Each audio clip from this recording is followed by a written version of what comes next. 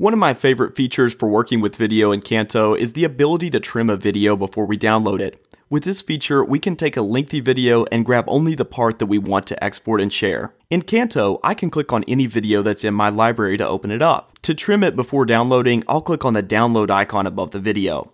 On the screen that pops up, I can choose between the different file sizes I could grab, but let's click on trim video to change the portion that's exported. On the left side is a mini video player that can help us preview the right spot to cut the clip. Unless I already know exactly where I need to cut the video, what I like to do is press the play button to start playing it.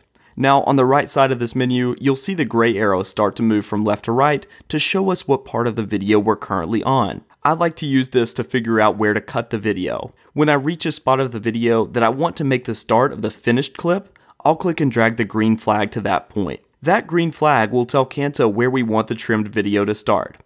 Then I'll hit play until I reach the part of the video that I want to serve as the end. Now I'll just pull the red flag back to the end point of the video. If you want to reposition these later on, that's no problem. I could always click and drag one of the flags to another point to change the start or finish time. When I've placed the flags at the final start and end, I'll click on download and Canto will begin to download the finished video. As I open it up in a video player on my computer, you can see that we've selected exactly the part of the video that we want and removed the excess footage. You can imagine this feature being really useful if you have extended video, like a conference presentation or screencast, but only want to deliver relevant portions to social or clients. Thanks for watching.